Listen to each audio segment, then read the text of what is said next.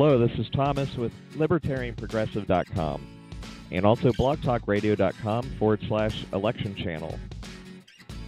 And you'll find over 40 interviews so far this year at libertarianprogressive.com of uh, independent and third party candidates, mostly running for Congress.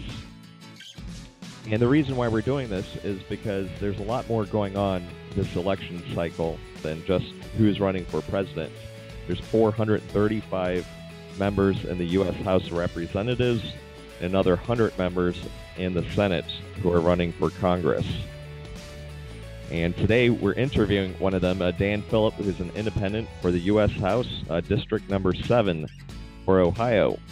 And we decided, because we've seen polls for the last 10 years or so of congressional approval ratings of under 20%, ranging anywhere from as low as 9% to as high as 20% approval ratings.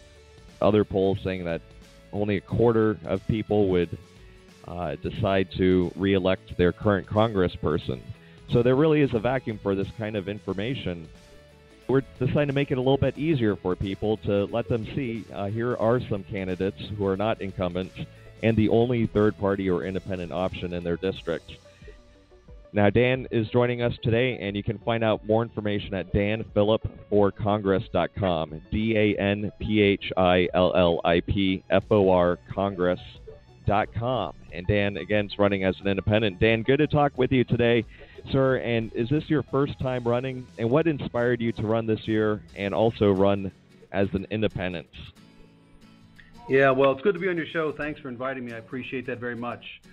Um, well, I actually was on the ballot as an independent in 2014 for the same office, and then I voted in a primary. Then I was disqualified to run as an independent according to the uh, Board of Elections in Stark County, uh, Ohio.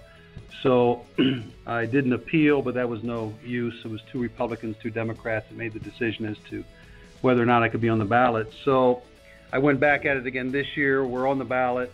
Uh, we did everything right according to the rules that they laid out. And really, the reason for running, if we just take a look at the division of people in our country, we take a look, everything seems to be going broke, whether it's welfare, Social Security, whether it's Medicare, Medicaid. Our debt is nearing $20 trillion. We've deficit spent for 45 of the last 50 years. And I think um, we're hearing a lot from the Republicans and Democrats as to what they're doing, what they're trying to do. We're hearing that there's gridlock, but it seems to me that there's only gridlock when it comes to not overspending. Uh, they've tripled the debt in the last 16 years. So there's no gridlock when it comes to spending. There's just gridlock when it comes to saving. So I felt we needed a new voice. I felt we needed somebody other than a Republican and a Democrat. Uh, they seem to be melding together as one anymore, and so we need a new voice. Yeah, there's uh, they all want to spend. I guess they're just arguing over what to spend it on. And now you had three main issues on your website. It's time to return ownership of the political process to the people. It's time to reduce the national debt and cut away excessive spending and regulation. It's time to protect the public interest from the special interests and represent the people with transparency and accessibility. And we'll go over each one at a time here, but let me just um, ask you some other questions real quick about the election process itself. Have there been any debates, Dan, and are there any debates coming up? There are not debates. There are numerous candidate forums. It, most people, most communities seem to fear having a debate. They want to have a clean, nice, kind type of a, an arrangement. So most of the arrangements so far have been you get a chance to speak for three minutes or five minutes. Some of them allow for questions, and some don't. So it's it's not typically you don't get into a debate format. You just get into a three to five minute um, conversation, and then it's it's over. So we haven't had a lot of in-depth meetings or conversations on the issues. Well, that sounds really quick. It's yeah, it's a long time American political tradition to have the debates before an election. That way, people can see the candidates interact and hear them on the issues. The, some of the debates have definitely altered the course of the uh, trajectory of the election before the election. What about getting the signatures on your website? You talked a little bit about going door to door, uh, getting to know people. Do you think the system is fair for an independent right now running? Should there be any election laws changed or processes that would make it a fairer system? Well, you know, at first I thought how unfair to make an independent knock on so many doors and get thousands of signatures. Uh, because we know that a Republican or Democrat only needs 50 signatures, I believe, or 100 signatures to get on the ballot. But an independent in Ohio, we need 1% of the total vote cast in the prior gubernatorial election. So in 2014, I had to have 2,672 valid signatures, and in 2016, I needed 1,880. So at first, it seems very unfair, but I, I have to say, I think they intended the rules to be unfair. But what it does do, if you take it seriously, forces you to go out and knock on doors and talk to people and listen to what they have to say.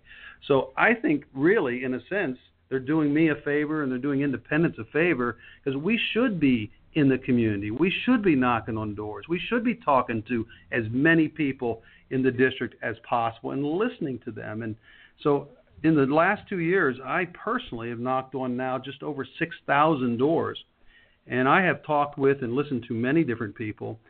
And the sad reality is, the, well over 90% of the people I have spoken with and listened to, they have an apathy that says, my voice doesn't matter anymore, my vote doesn't count. And when you go to Washington, uh, what's going to prevent you from becoming a crook just like the rest of them? So there's this this uh, malaise, uh, this this attitude of people that they don't matter anymore, and to me that's the most dangerous part of being a constitutional republic is when people believe they no longer matter, so they no longer get involved, which allows for those who are being elected to really have free rein and go do what they want to do, and we can see what the results of that have been. So we have to go out and engage. So really, it, at first glance, it seems unfair, but the reality is everybody should have to do that. Yeah, maybe the Republicans and Democrats should be required to do the same thing and go door to door as well. Um, well, Dan, let's look at the issues here. Um, the first issue, we want to take them one at a time. I mean, you can mix and match it how you want, but is return ownership of the political process to the people? You're touching on that a little bit, but that's number one on your list here. And so, how would you approach that to return ownership of the political process to the people? Well, I think there's a couple things you have to do, and, and knocking on the doors that I have, it gave me that that sense, that that pulse uh, of the people that they want to matter and they want their voice to be heard and they want to know that the people they're sending to Washington are actually listening to them. We can see the results of those who have been sent to Washington have been horrific. But if we would continue to meet with and to knock on doors and to be accessible to the people, that's one of the, the issues in our district. The current congressman is so inaccessible. I, I don't even receive his his weekly updates. I get weekly updates from other congressmen, but I don't get weekly updates from my own. The people in the district don't know the name of their congressman. They don't know anything about him. I believe we have to be accessible. We have to get out of Washington. And some get out of Washington every weekend to get home because they need to get out of that culture that corrupts and get back into their district so that people know them and people in their district hold them accountable. So I think being accessible to the people in your district to where they get some level of knowing who you are and knowing what you're doing and knowing that you're listening to them uh, I think what the big, maybe the biggest issue really is regaining the trust of the people and, and asking them and inviting them to come back into the, the process and be engaged in the process. Invite them to come to Washington. I know it sounds crazy, but why not have them come to Washington and, and go into the Congress and let Congress see these people want to have a say. They're tired of being pushed away and being ignored. So that's one of the things I think I would do to help re-engage because if they're not engaged in the process, the process will get worse. All right, and we'll come. I do have a follow-up question on that. I'll, I'll save it for after these issues um, remaining here. It's time to reduce the national debt and cut away excessive spending and regulation. So, if anyone's looked at the debt clock um, recently, you know you can watch it in live time as it keeps ticking away. It's somewhere between 19 to 20 trillion dollars. Um, you have that as a major issue. How important is our national debts, and what would you do? Uh, about it? Well, money really is the answer to everything. Everybody has to have money. And when you don't have money, you reduce your flexibility, you reduce your, your options and your choices, and you're very limited. Um, and it's interesting lately, Congress, many of the congressmen come back, especially the Republicans come back and claim that they've been reducing the deficit over the last few years. But the fact of the matter is, that was all smoke and mirrors. And the reductions that they had for a couple years are going to go into the 2017, 2018, and 2019 budgets, and there will no longer be deficits. And so when you lose, uh, when you go into debt, it really destroys any liberty that you've got. And our country is in such mu- so much debt that our liberties are at risk, and we actually see how we're losing some of those. Uh, and the debt continues. Matter of fact, it's projected over the next 10 years with current legislation on the books. It's projected to go up another 9.5 trillion dollars. So in the next 10 years, we're going to go from a 19.5 to almost just under a 30 trillion dollar debt, and we're eating up nearly 80% of the GDP in our country, which is not a good thing for our nation to be uh, at. And so to reduce debt, they haven't even started. And if you look at the General Accounting Office, they will give you a pretty good idea as to the many agencies, the many programs that are um, duplicated, replicated, fragmented, uh, distorted, and just out of control. There are there are hundreds of billions of dollars that can be streamlined, cut, reduced. Uh, but the fact of the matter is, when your job is on the line, are you going to cut it? Are you going to do things that cut your job out? For example, there are 42 different um, agencies that deal in non emergency transportation, and they're all duplicating, replicating, and overlapping each other. It doesn't make business sense to keep 42 agencies to, multi- to duplicate the things that each other agency is doing. So we can take a list of those kinds of wasteful spending that the General Accounting Office has, and anybody in the audience can take a look online and, and see these things for themselves. There are plenty of places to reduce and to cut and to streamline. And the answer that most of the congressmen come back to say is, well, that's not going to that's that, that's so minuscule, it's not going to help. But it's just like a budget at your home. If you don't start, you will never ever reach your goal of getting out of debt. So that's where I would start to reduce our debt. And here's some other interesting information.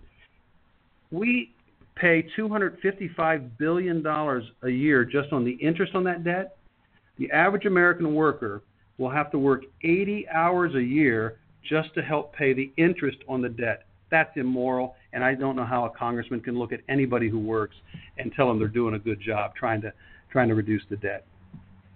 Yeah, and I suppose we're lucky that the uh, interest is less than one percent right now because if it was even in normal areas, I suppose, or normal amounts, it's you know one to three percent. It would be a lot more than 250 billion dollars a year, and uh, that also affects the value of the dollar and economics and our leverage with um, other countries. And the GAO is a good place to look at. They break things down and, and talk about the GAO, uh, the Government Accounting Office, which uh, you're getting your numbers from. Do you think the full government should be uh, audited. There's some departments like the Department of Defense that hasn't really had an audit hardly ever. Uh, the Federal Reserve. There's some other departments um, that might not that that probably get audits more often. But uh, what do you say about auditing the entire government uh, from top to bottom and just seeing exactly where everything stands? Well, every single agency needs to be audited. And here's one example as to why. Um, within the Dodd Frank bill back in 2010, there was an agency created within that particular bill, uh, had something to do with consumer protection. and it sounded good in the title and so forth. But what we have come to find out, that particular agency was not receiving their budget from Congress. There was no approval uh, coming from Congress. Congress didn't even really know where their dollars were were, were coming from. And what we find, found out is they were directly being funded by the Federal Reserve. Uh, that's illegal. That's unconstitutional. Uh, there was another agency under the uh, Naturalization and Immigration Department that was raising their own funds through fees that they would charge, and that's not uh, legal and that's not constitutional. And I would tell you that if we would audit every single agency, we're going to uncover things that our federal government doesn't want the taxpayers to know what's going on because they'll see even more waste, even more fraud that's taking place. When you're that big, uh, you can't control it, which is a good example of these two agencies where Congress had no idea.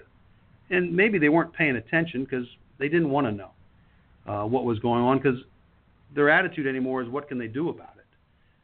They keep saying if we have a new president, if we have a new president, then we'll be able to do this. So that says they're sitting on their hands, not doing anything. So to not audit is to do a disservice to the taxpayer in our country. And I think that, again, is just uh, unacceptable. So, yeah, I absolutely believe we need to be doing that. Um, and we also need to go back to requesting annual budgets from every agency and then sending those to the president. Uh, that will do a lot because he's going to have to, uh, uh, I think, write a statute for each and every one of those budgets. Uh, and we're not doing that. We go and we do the omnibus bills and we vote on everything at one time, and our congressmen don't don't read that. They don't know what's in it, and so these budgets get passed sometimes of course, and they don't even know what's in it. So we need to send individual budgets from each agency every single year to the president's office. And if we did that, we would not be hearing things like uh, continuing resolution. We wouldn't be hearing things about shutting the government down. Uh, it would be a lot more transparent and a much better way to run a business. All right, that sounds good. Those are some good examples, and like you said, if there was an audit everywhere, there'd probably be so many, so many more examples. We, definitely would not have time to talk about them all today, of course. Um, now, you had another issue here, Dan, and again, for anyone tuning in, we're talking with Dan Phillip, who's an independent candidate who's going to be on the ballot this November 8th, the only independent or third-party option in his district, number seven for Ohio and uh, for the U.S. House of Representatives. You also stated here it's time to protect the public interest from the special interests and represent the people with transparency and accessibility. And there's a lot of special interests, there's a lot of lobbying, there's a lot of, it seems like, revolving doors as well, and so on. How would you address that, and, and how is that hurting uh, our confidence in our representatives and hurting America? Well, we reelect our congressmen 90% of the time.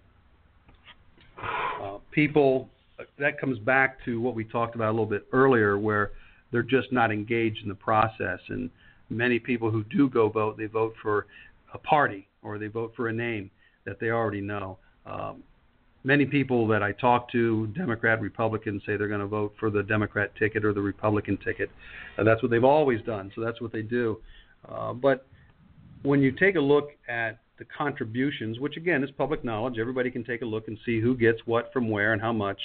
Uh, we need to take a look at that because when you start to see the millions of dollars that come into each and every one of the incumbents, you really, and then you take a look at their voting record. See, the American people are going to have to get a little bit um, uh, more aggressive in looking into what's going on in their own district. Uh, so that's something that we need to encourage and need to even educate our district on and to show them. And simply there's so many different websites they can go to to look up this information. Uh, and when they take a look at the candidates they can see who's paid that candidate and then you can understand the way they vote from time to time.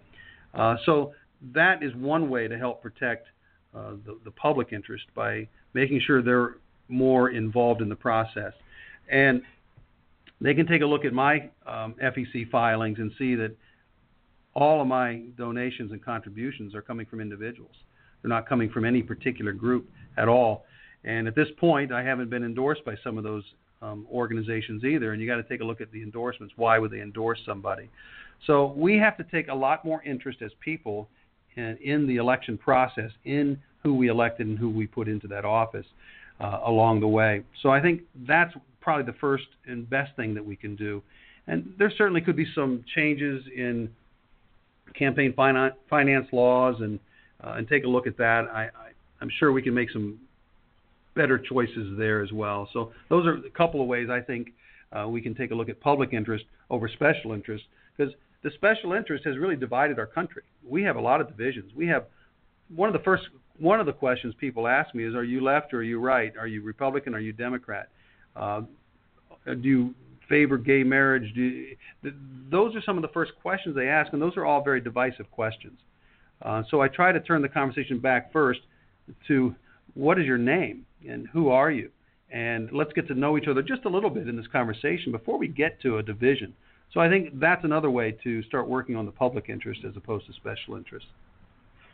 All right, Dan, and right. and that's why we're here at libertarianprogressive.com are interviewing people running for Congress. There's again a lot more going on this November 8th than just the presidential election. The Congress is a co-equal branch of government.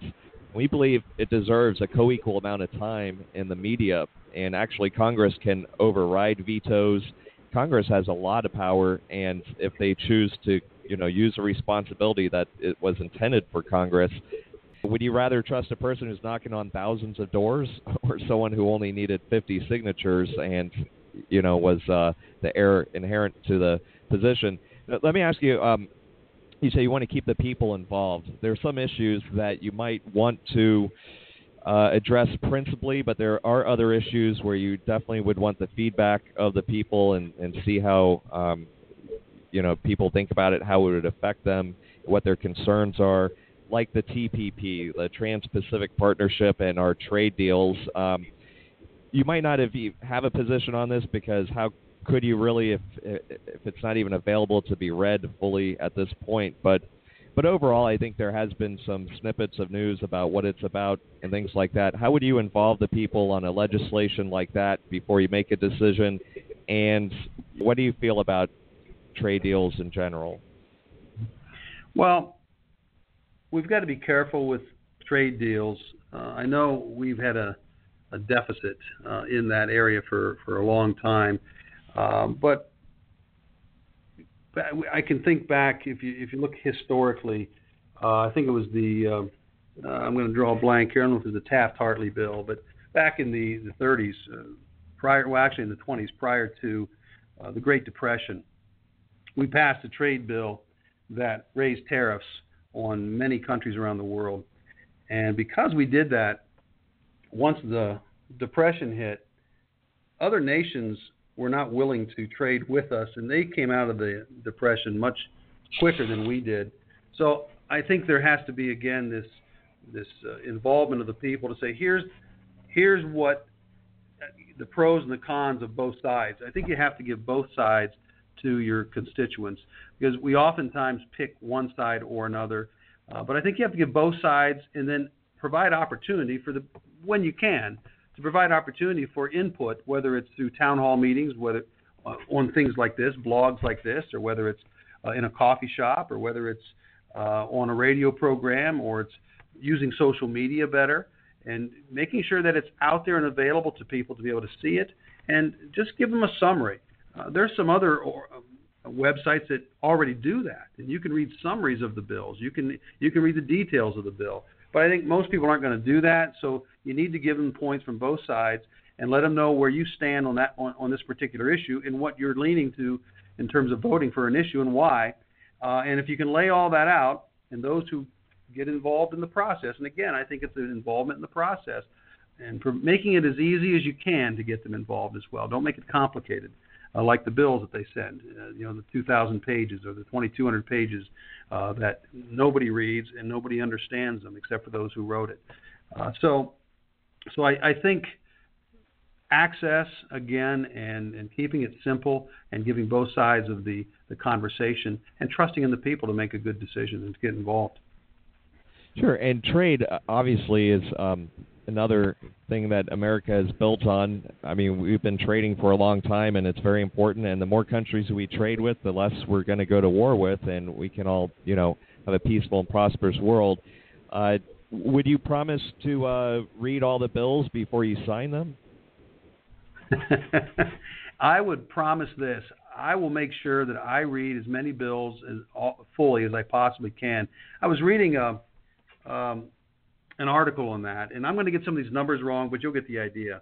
Uh, currently, all the pages of legislation that come across a congressman's desk over a two-year span of time, if he were to read or she were to read all of the pages of of, uh, of legislation coming across their desk over a two-year span, it would take 439 years. Now, wow. That, okay. so I, I, I guess I can't ask you that. so, so it is crazy. What what we could do, I don't know why we couldn't take a look at any legislation, and maybe this is some kind of legislation I would want to craft and put together, is to limit the number of pages that any bill can be. Um, I think that's something that you could do because if you're going to make it I, I look at the Constitution. You look at that, you read it, you read it in 30 minutes, um, and it's not all that difficult to understand. So why can't we craft bills that aren't difficult to understand and bills that everybody can read along the way? So I think you can actually pass legislation uh, if you can get enough votes, enough people to to go along with you, so that you can make it simpler and you can streamline it, uh, and the average American can understand it. I don't know why we couldn't work toward doing something like that. Sure, I think a lot of people would appreciate that. Um, some quick topics here. Uh, what's your general overall uh, stance on um, the environment and renewable energy? Yeah. Well, when you take a look at, we should always do be diligent in taking care of and being stewards of what God gave us. Um, we should always be doing that. Um, and we should always be looking at technologies and ways of doing it better. Uh, so, if I don't know how anybody could be against that, um, but I think too, when it comes to renewable energy, we can't pick winners and losers and try to force something upon a nation or a people because it is something that we have and that we want to do and we want to see.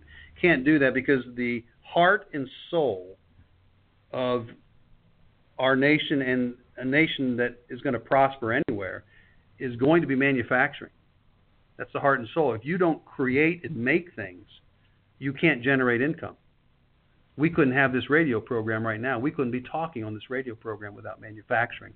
And therefore, everything that we have that isn't natural comes out of the ground, and we take the materials that come from the ground or, or, or they get their, their food supply from the ground. Uh, we can't have what we've got. So manufacturing is essential, and we can't force a high cost of energy onto something as important as manufacturing in uh, that drives our, our, our our economy. We've got to take a look at that. We've got to be smart about this, uh, and we can't try to put laws and regulations and burdens on Americans that the rest of the world isn't going to follow. And so we have to look at that quickly. There, we have to have cheap, clean energy to be able to drive the economic machine if we are going to survive as a nation. So I think we got to be very careful with thinking renewable energy is the answer to that. I mean, we can certainly uh, work on renewable energy and use it where it makes sense and where it's going to do the best and most effective job. Okay, and let me just okay. ask you quickly on um, the war on drugs. Uh, should that be more of a criminal issue or a health issue? Hmm. That's a good question because every community in the 10 counties to which this district is made up is talking in, in particular about the heroin problem. And I have an organization I started 17 years ago called the Transformation Network. Um, we're a faith-based nonprofit, but what we one of the things we do is we work with men and women who come out of jails and prisons and people living in poverty. Uh, we take our money, the money we earn working with manufacturers, uh, to do that in our communities. and I've learned a lot of things. And one of, with drugs, to me, this heroin deal and most drugs, it comes down to a spiritual issue uh, in each person's life. Because I've talked with, I know the people who have struggled and died um, with, um, especially heroin, uh, and they tell me that themselves. It comes down, and they think it's the devil himself involved with that. So we don't have a solution outside of the spiritual solution, in my opinion. It doesn't mean we don't have people who can't work together on this and to care about people and to take care of them. Uh, to criminalize them, uh, we've got to also look. There are victims. There are victims too. The victims in this process aren't just those who are addicted. The victims also are the ones who who had crimes perpetrated against them. So we can't say to the people who have been a victim of a crime that uh, this person is is involved in drugs and uh, they're really not a criminal. So we've got to look at both sides of that issue before we can can can pass any laws on it. And I do believe in taking care of people, but I believe our communities uh, and our local communities are better equipped to do that than the federal government ever could. So I don't think it's a federal issue. I think it's a state issue. I think it's a local issue. And I think each community needs to take a look at how they want to work through this and solve this problem. Okay. And not talking about hard drugs or crimes where there's victims. Um, of course, you know there is a criminal justice system for that. What about states like Washington, Oregon, Colorado? Should they be allowed to have their uh, you, you know states' rights to experiments in allowing the legalization of certain drugs if they want to, or should the federal government stop them from doing that? No, the federal government should not stop them from doing that. It does. The Constitution does not give the federal government uh, a role in that. It was really, I think you said it a little bit earlier. Uh, it was set up that the states are the incubators. The states are the places where they can experiment with they if they want to. So it's going to be up to the. I believe it is a state issue, and uh, the federal government should not get involved in that. Uh, the states, if they decide they want to do something, and the people uh, of those states um, say we're going to legalize marijuana, and they legalize it, that's up to the states. That doesn't mean I agree with it. It just means I believe it's a state issue. Sure. And do you think at least sure. industrial hemp sh- should be allowed to be um, grown? Industrial hemp being allowed to be grown? Yeah. Well, you know what um, we have. Yeah. Sorry. I'm sorry. Go ahead. Uh, and also be people have to import it from other countries, so it can be used in a lot of manufacturing process. It doesn't have, you know, some of the uh, ingredients like the THC, the chemical that gets people, you know, quote unquote high. Uh, yeah. So right now, actually, it's illegal for farmers to even grow it in most places. Yeah. Uh, again, I, I don't know that that's a federal issue, and should they be allowed to to grow it for uses out for industrial purposes? I'll be honest with you, I've never really thought about that. That is not something that has been uh, on my mind, but is part of the problem, and it may not be true in the industrial usages, but part of the problem is we do have all businesses do drug testing, um, and uh, I think there's a conflict there because they're they're doing a 10 panel drug test, and if you have drugs in your system, you can't work. So I think that's that's another issue in this whole process. But as far as the industrialization, I haven't thought about that. I don't really have uh, formulated an opinion at this time. Well, I appreciate your honesty on that, and at least what you're saying is that it's a, I guess, a Tenth Amendment states issue there. And now, are there any local issues um, in your district specifically that we didn't address here, sir? Uh, I think those are, are, are the issues that we're dealing with uh, uh, in our local communities in, in, in this district. I, I think we've done a you've done a good job of covering those, and I appreciate you uh, reading the website and and giving me the opportunity to have a conversation with you for, so people can hear um, uh, an independent candidate. I appreciate it. Well, we appreciate you being on the ballot, so we have this purpose to interview you. And let me ask you one final question, Dan. Who are some of your favorite people, past or present? Uh, well, I'm going to give you some. well, one of my favorite people, I guess, would be the characters on the Seinfeld show. So that's one of them. Uh, and I shout that out to a lot of people who I know are listening to this. Um, but, uh, you know, some of my favorite people would be uh, I've read a lot of history to prepare myself for running for this office. And I guess if I, I some of the favorite people. William Wilberforce would be one of those. Uh, I don't know if uh, if the audience knows a lot about William Wilberforce, but he was a um, a man in Parliament in Great Britain back during the slave times in the 1800s um, or even earlier, and uh, he believed that slavery was was horrible and needed to be abolished, but he didn't have any friends in Congress or in Parliament. Uh, but he stuck with it, and he kept pushing, and he kept pushing, and he didn't see any real change for 18 years down the road. And I think that's one of the things that I want the listeners to know that the issues and problems that we have at the federal level uh, cannot be solved by one man or one woman in one year or or 10. Uh, we have to be vigilant and we have to fight hard to be able to turn this country around and make it healthy again. And I just want to be one part of that to start chipping away at some of the issues that we have problems with and then 6 years down the road hand it off to somebody else to be able to pick up that mantle and continue to chip away so that we can see 18, 20 years down the road some major impacts uh, that that took place uh, during that uh, that period of time. So, uh, Will, William Wilberforce would be one of those, and and um, um, I would tell you that um, I was a Ronald Reagan fan, and uh, I really appreciated the fact that he made America feel good about themselves. Whether you liked his politics or not isn't the issue. He at least was positive and made Americans believe again that it was possible, and and I believe got people engaged in the process. So those are a couple people I would share with you.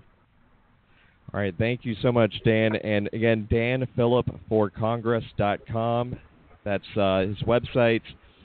Dan uh, Phillip is an independent candidate running for the U.S. House of Representatives in District 7 in Ohio. Dan, we appreciate you taking the time to talk with us and letting our audience know some of the other races that are going on besides the presidential election this election year and letting people maybe think about outside the box and consider Congress uh, as a way to as a way to represent their interests and um, and as a way to you know make change. So good to talk to you today. I hope you have uh, fantastic Friday, Dan, and good luck in your campaign, sir. We appreciate it. Thank you very much. I hope you have a great weekend as well.